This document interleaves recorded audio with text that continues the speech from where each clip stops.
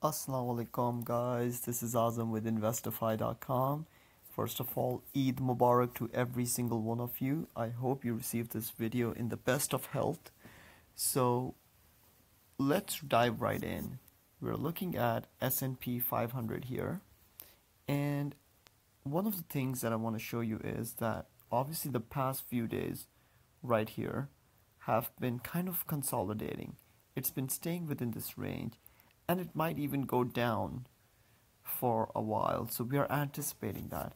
But there is something that I want to show you, and this is a strategy that has, on average, given a return of over 10% per year for at least the last 38 years. And the strategy is simple.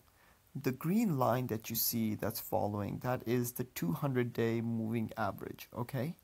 So whenever when, whenever the price closes above the 200 day moving average like over here in the corner you can expect to buy the stock. Or yeah whichever stock it is and there's a good chance it'll continue moving up. So you could even buy it over here when it came close to it and then it started moving back up. Now if it goes below it that's a good time to sell. Meaning take a look right here. And this is in 2008 June 23rd, the week, and that's the day when it closed below it. And then a few days it went down, and then it was consolidating, and then boom, just then went down all the way here.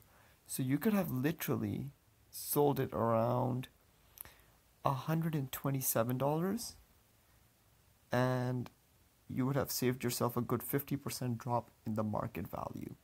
So this is an interesting strategy the reason why I'm showing this is because people have concerns right now about the market and as you can see the last few days the market's been churning. It's not moving up but perhaps showing signs of weakness. So it's important that we keep an eye on what's happening with the 200 day moving average what's happened what's happening with this line here. The other thing that we've started doing is we're taking into consideration a lot of economic indicators such as the yield curve, which is the measure of the short term and long term interest rates. So, what we're seeing right now is whenever the yield curve has shown that the short term interest rates are higher than the long term, it's an issue because what that takes is that within two to six quarters, the market will go into a recession. Currently, we're doing perfectly fine. We don't have any of those issues um, showing up. Like the interest rates aren't close to each other.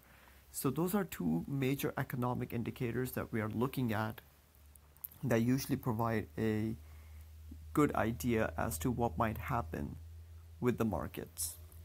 Now, let's take a look at the gold index real quick.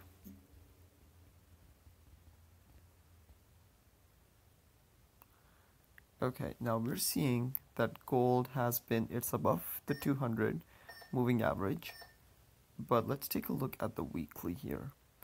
It's below the 200. So I feel like it's consolidating for a while. It might drop within the $19 range, or it might start to go back up.